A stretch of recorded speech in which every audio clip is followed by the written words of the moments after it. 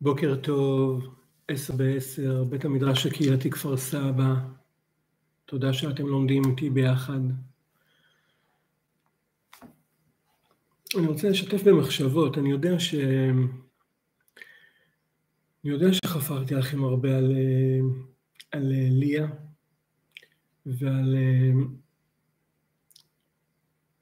ועל הכוח המיוחד שלה ועל ה... ועל הרגישות המיוחדת שלה, אבל אני רוצה להתבונן על משהו שככה יוצא לי לחשוב עליו בימים האחרונים. אני אשתף קודם בסיטואציה, חלקכם מכירים מקרוב, מרחוק, אחרי ש... שליה לצערנו נפטרה, בגלל הרגישות המיוחדת של ליה לאחרים ולסביבה והיכולת שלה עם הקושי שלה לראות מסביב, אז היה דחף כזה להקים, כן, אה, את מה שנקרא האור של ליה. מאירים את זה הלאה. היכולת לקחת אה, טוב ואור ולתת לאחרים, וכמו ש...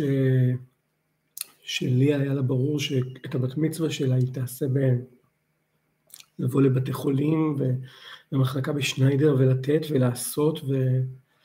אז ברוך השם, הרבה מכם כבר השתתפתם במיזם הזה, האור של ליה, ונרכשו חנוכיות, והם יארזו בקרוב, ויהיה מיזם כזה של אריזות ושל חלוקה בבתי חולים, בבתי אבות, בבתי קשישים בודדים וכולי. אז זה העיר לי משהו, האור הזה העיר לי משהו על הפרשה, שלא הבנתי אותו הרבה זמן, ועכשיו אני מבין אותו ואני משתאה, אני משתאה על מה שאני מבין אחורה ואני משתאה על מה שאני רואה פה מול העיניים. אברהם אבינו יושב בפתח האוהל. רש"י מביא שהיום הזה שבו יושב בפתח האוהל, אני אקריא לכם, אה, אמר רבי חמא בן רבי חנינא, יום שלישי למילתו היה, ובא הקדוש ברוך הוא ושאל בשלומו. כלומר, זה היום השלישי למילה, זה היום שהכי כואב. דווקא ביום שהכי כואב, אברהם אבינו יושב בפתח האוהל ומצפה לאורחים. הכי כואב, יש שמש בוערת בחוץ והוא מצפה לאורחים. עכשיו לאורך השנים הכרתי את המדרש הזה ואת הרש"י הזה ולאורך השנים אמרתי לעצמי למרות שכל כך כואב לו, מה הוא עושה? הוא מצפה לאורחים. ככה הבנתי את זה כל הזמן. בזמן האחרון, בימים האחרונים, בשבוע האחרון, תראו, יומיים מאז שעלתה ההתרמה הזאת לאור שלי על לעשות דברים טובים, ויש באז מטורף, ואנשים כל כך רוצים לתת ועושים ונותנים, וברוך השם, המיזם הזה הולך לעשות דבר מאוד משמעותי וגדול. ו... ואני חושב בתוך כל המיזם הזה על, על ההורים של ליה, על שרון ולבנת, ולאחים של ליה, ש, שכאילו עושים, כמו אצל אברהם אבינו ביום השלישי, כשהכי כואב, כשהכי קשה, אה, ובהבנה הראשונה שלי, למרות שכל כך קשה לו הוא עושה, בהבנה הראשונה שלי, אה, גם במקרה הזה, למרות האבל הנוראי, למרות הקושי הנוראי לקום ולעשות. וההורים שלי העושים פה ומעורבים פה והולכים לפה והולכים לשם וקונים ודואגים ומעורבים בזה מלא, מלאי מעורבות. המחשבה הראשונה שלי הייתה ש... שאיזה אצילות נפש שלמרות למרות הכאב היכולת לעשות, להיות בעשייה ואני עדיין בתוך המחשבה הזאת. והתחדד לי עוד משהו.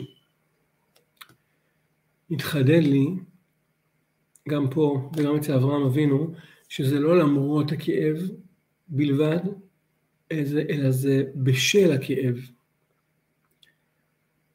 התחדד לי שכשליה אמרה שלבת מצווה שלה היא, היא מתכוונת לבוא לשניידר ולחלק, זה לא למרות הכאב שלה היא חשבה על אחרים.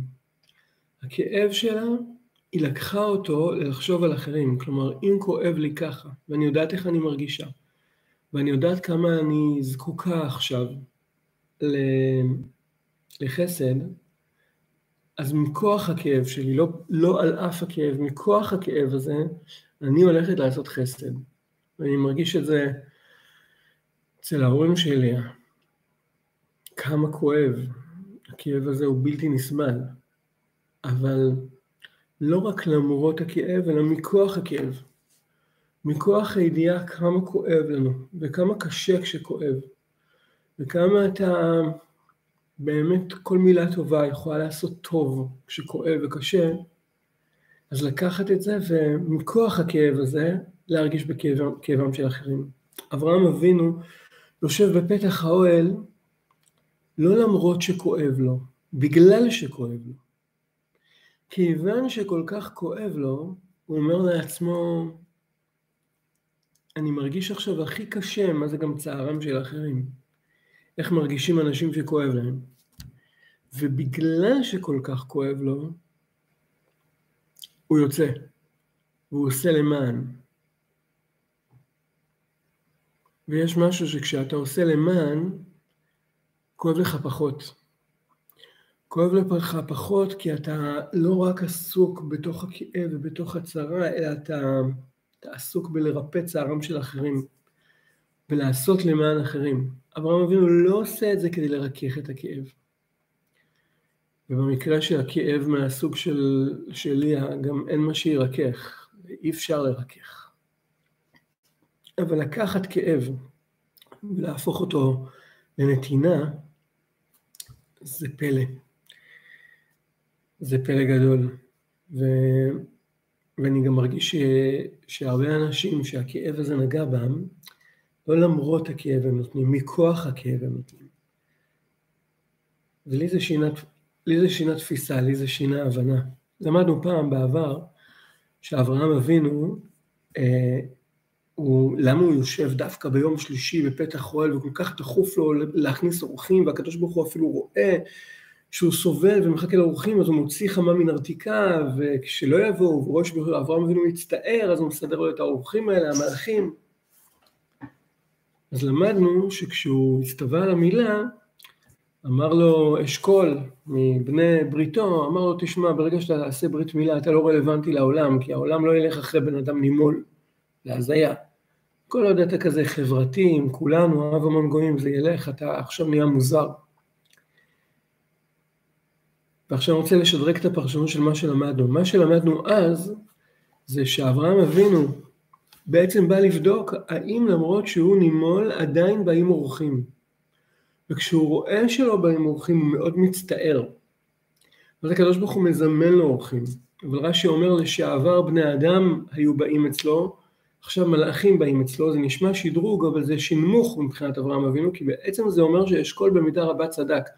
אחרי שעשית ברית מילה ואתה מתכנס בתוך המקום שלך המיוחד לעם ישראל, אז כן, נורא מסובך עכשיו שהגויים יבואו ונוצר איזה פער. אז הסברנו שאת זה בדיוק הוא הולך לבדוק, האם בני אדם עדיין באים אצלו למרות המילה. עכשיו מתחדש לי לאור מה שדיברנו, קומה נוספת, שעד היום הוא עשה חסד מתוך יש, מתוך שפע, מתוך ה, באמת ההצלחה של אברהם אבינו. וזה אומות העולם יכולים להבין.